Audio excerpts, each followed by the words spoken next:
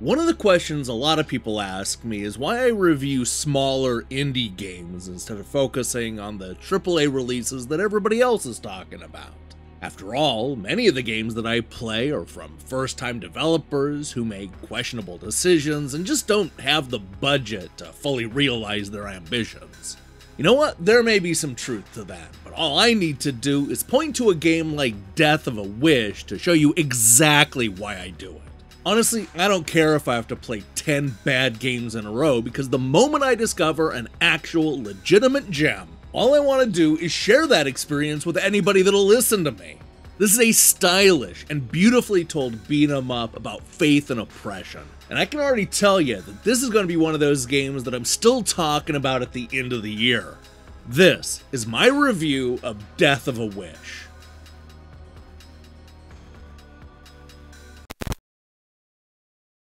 This is the harrowing story of Christian, an incredibly angry and vengeful fighter who's on a violent quest to take down the cult that raised him. He believes that if he can defeat the four sanctum faiths father, sister, cardinal, and priest he'll be able to upend their corruption and bring order back to a nightmarish world filled with evil beasts and religious zealots. But in order to do this, he's going to need to team up with a colorful cast of heroes and come to grips with some uncomfortable truths about himself. Now, in case it's not obvious from the setup, this is a beat 'em up that has a lot to say about faith and spirituality. If you can imagine Golden Axe, drawn by David Lynch, with a whole bunch of unresolved religious trauma, then you have a pretty good idea of what you can expect from Death of a Wish. Using a magical sword and a wide variety of attacks and combos, Christian will hack and slash his way through a corrupted world filled with nightmarish monsters of all shapes and sizes. Once you get over the game's unique and chaotic visual style, the first thing you're going to notice is just how much fun it is to play. Let me tell you, there have been a lot of brawlers released over the last 40 years, and very few of them are this fast, fluid, and exciting. It's just so damn easy to string together moves and combos all while dodging attacks from all sides and using your magical abilities to break the enemy's shields and do some real damage.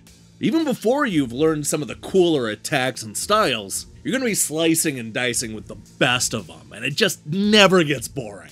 What really sets the combat apart is how customizable it is. A big part of the game centers around these different magical combos that you can collect called arias. You'll earn a number of these abilities over the course of the game, usually at pivotal moments, and they really do help to change up the flow of the action.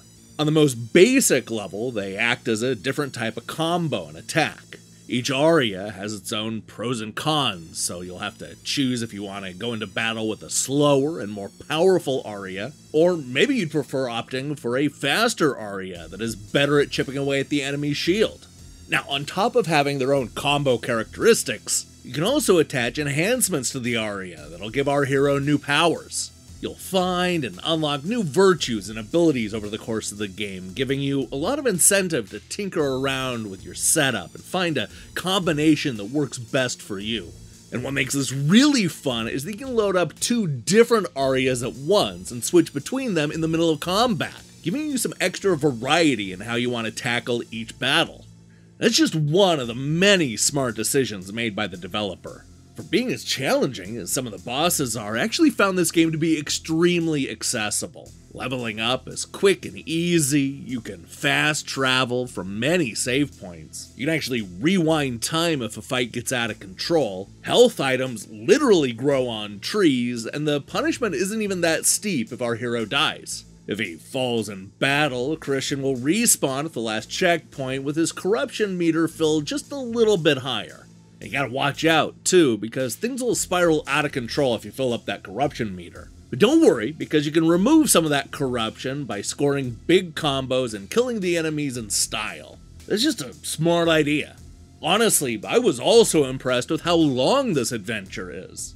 There's a cool story full of twists and turns, and it's gonna take you anywhere from 6 to 8 hours to beat. The game does an excellent job of mixing things up with new locations, fun side quests, and a whole bunch of crazy characters. And it isn't afraid to go dark and constantly make you think.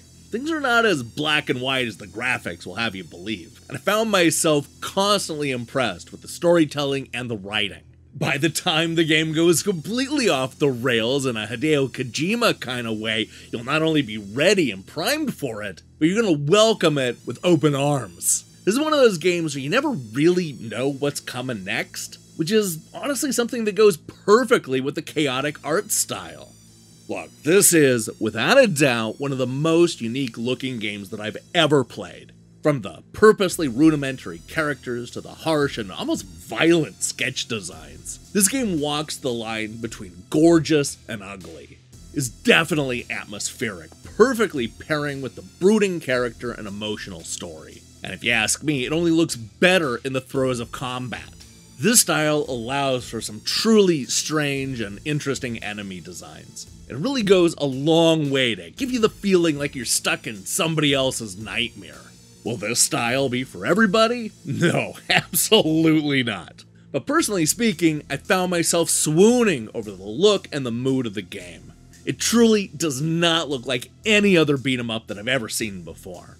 Now, if you're here looking for things that are wrong with Death of a Wish, then you're not gonna find many in this review. I suppose you could argue that one or maybe two of the bosses require some level grinding to defeat, but that isn't a big deal. Nor is it a problem when you end up being super overpowered for most of the late game bosses. I don't know, perhaps there'll be people that complain about the religious commentary and the scratchy visuals, but not me. I felt like everything came together almost perfectly, leading to a truly memorable brawler that has a lot on its mind. The truth is, this is an insanely likable action game with fun gameplay and a story that'll really slap you across your face. The battles look great, the characters are all well written, and there's a real sense of both mystery and discovery the entire way through. This is a confident game made by a developer that has something to say. They have the goods to back it up. Death of a Wish is big, stylish, and oh, so much fun to play.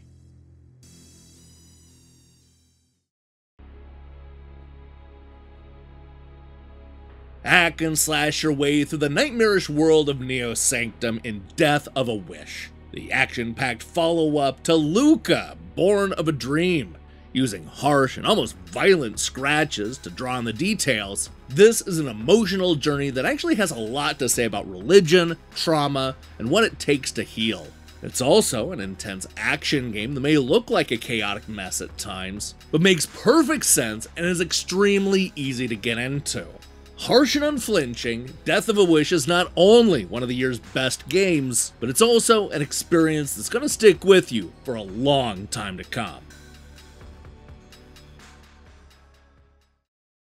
Hey, thanks for watching our review. If you liked what you saw here, then you should know that we post new reviews and features almost every day. Now, here's the question I have for you. What's an older game that really stuck with you? You know, the kind of game where you still think about the story and the themes and the events, even if you haven't played it recently. Let me see your picks in the comments below. In other news, we'll be back later this week with maybe another review or an announcement about the review crew or something. I don't know, we'll find out. While you wait for that, I strongly recommend you click that subscribe button and support what we're doing here. Until then.